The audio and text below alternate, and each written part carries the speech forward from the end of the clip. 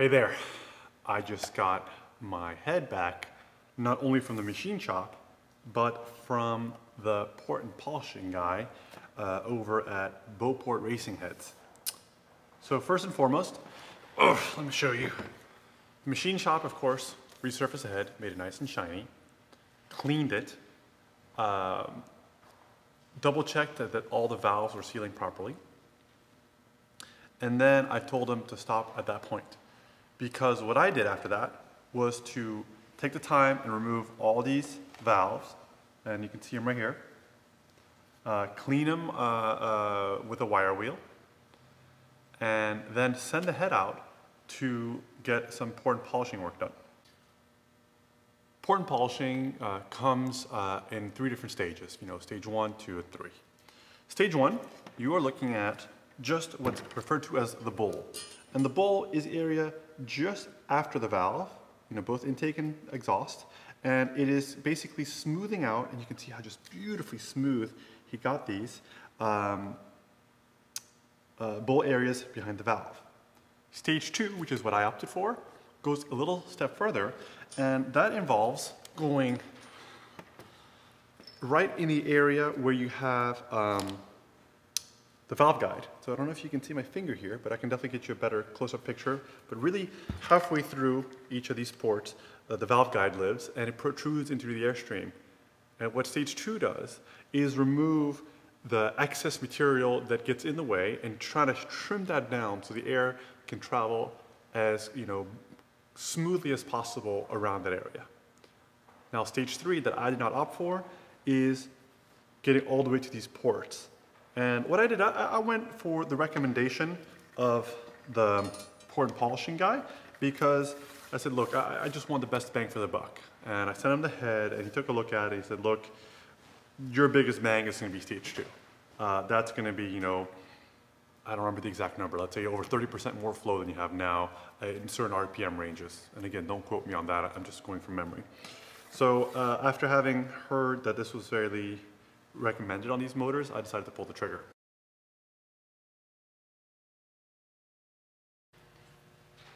What I'm going to do now is remove all the valve stem seals from this head.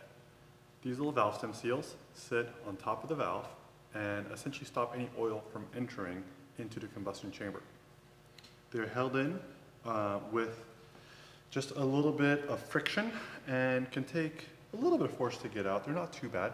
So let's, um,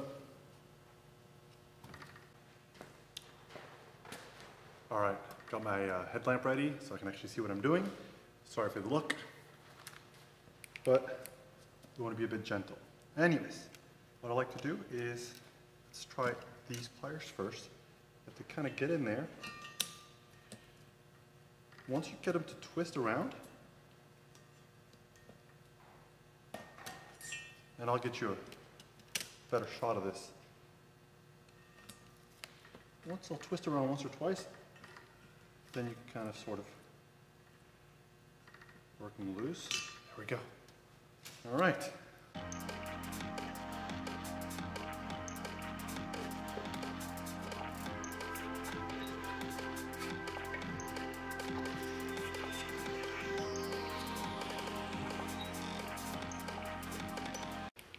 Next step is to flip the head upside down and start lapping all these valves in to ensure a great seal. I'll show you what I'm talking about. You want to make sure that you have the head uh, in a way that you know which uh, is cylinder number one because you don't want to get the valves lapped in the wrong cylinder. So let's take a look here. This is the intake side and you can tell they're larger valves are on the intake side.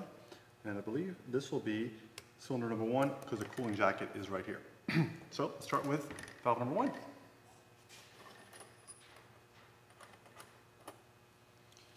Take your compound, little valve grinding compound, just put it on the valve as such. Put the valve inside. Always have to have a little towel around because you don't want to get this too much in your hand. And you take this little suction cup tool, put it on the valve, and spin it as such.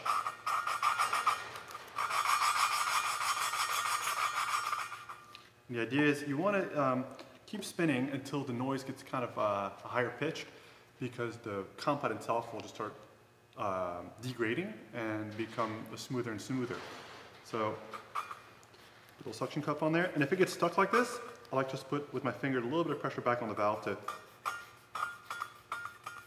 I feel like that one is pretty good. So I'll leave it as such. Take it back out. Of course, you're gonna have to clean all this. This is water soluble, so you can clean all this. Now you can see the back side of the valve here is um, nice and um,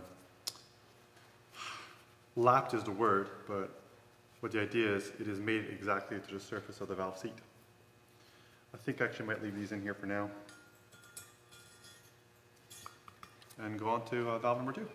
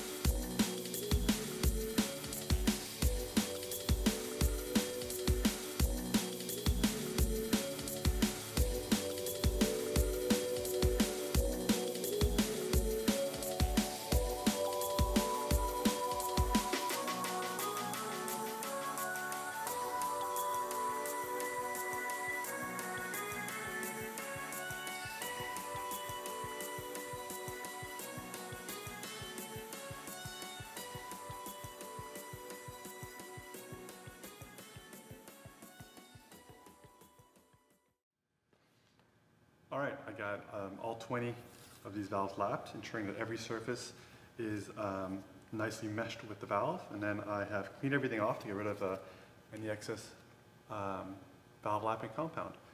So the next step we have is to get um, the new valve stem seals back into the head. To do that, I have to flip it back upside down.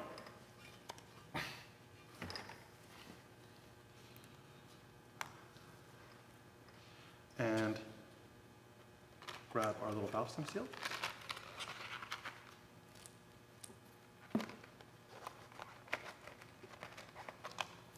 You want to get a tool that, like a socket like this, that just goes nicely over the edges, and so you can press them on. All right, let's give it a shot. Okay, you see I went and got my very fashionable headlamp for this, so I can make sure I'm doing the right thing. Okay, first step you want to do grab valve spring seat and put them back in where he belongs. So I use a screwdriver to kind of give it a ride down. And then let's get a little bit of oil.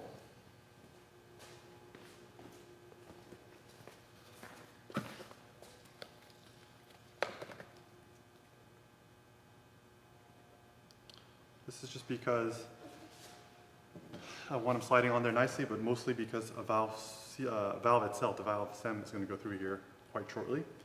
So that's, oh, and I got myself a pick tool to reinstall it. I'll show you my technique. Let's get a little oil on there. Okay. Align them.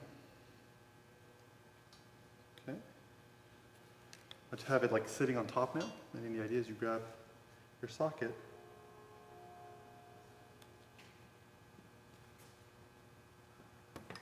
you push them on. You want to make sure it is on all the way. Because if one of these comes loose, your car will make a bunch of smoke when you're uh, decelerating. Okay, feel pretty good about this one.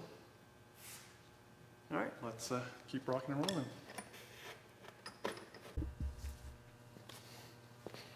Okay, now I'm going to put the valves back into the head. Again, this is exhaust side, intake side, cooling jackets. So this is the front, so this is cylinder one. First, I'm gonna take all the springs and put them in there. So let's do that.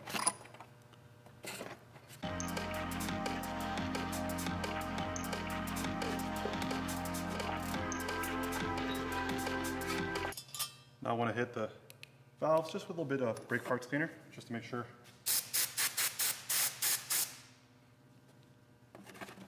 Any remaining lapping compound is gone. All right, let's grab the valve.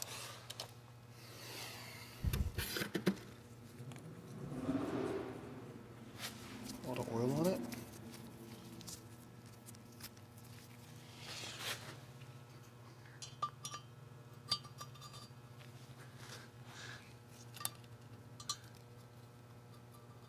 I like to go very slow when I put the valve in. I don't want to knock that seal out, the valve stem seal out.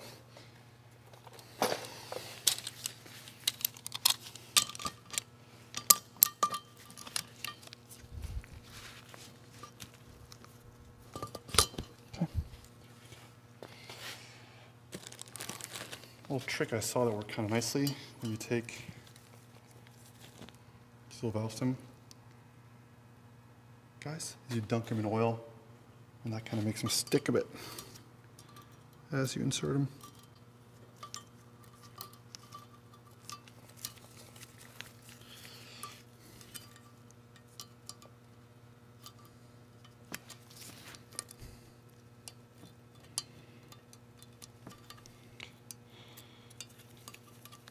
Finally got him. Okay. Let's get the other half on there.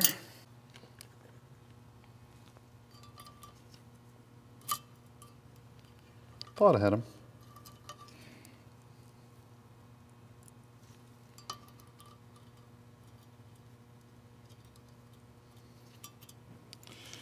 Okay, let's see if I can get him to sit in his little home.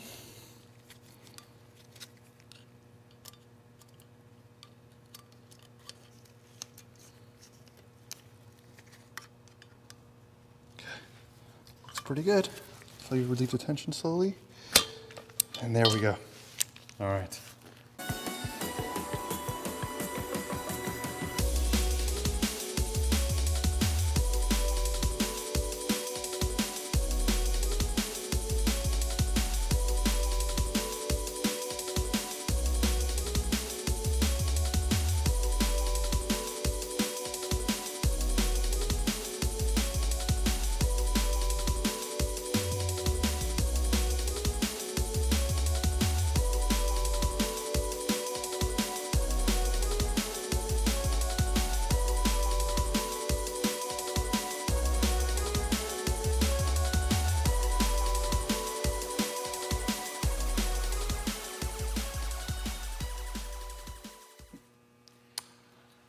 Right, there you have it. Um, a completely sorted head that's been resurfaced, pressure checked, vacuum tested, poured and polished with a stage two. Uh, all the valves have been pulled out, cleaned, uh, all the carbon's been removed, the, the head's been hot tanked, and uh, it's also received a stage two port and polish. So this is ready to go back on the vehicle um, with a fresh head gasket.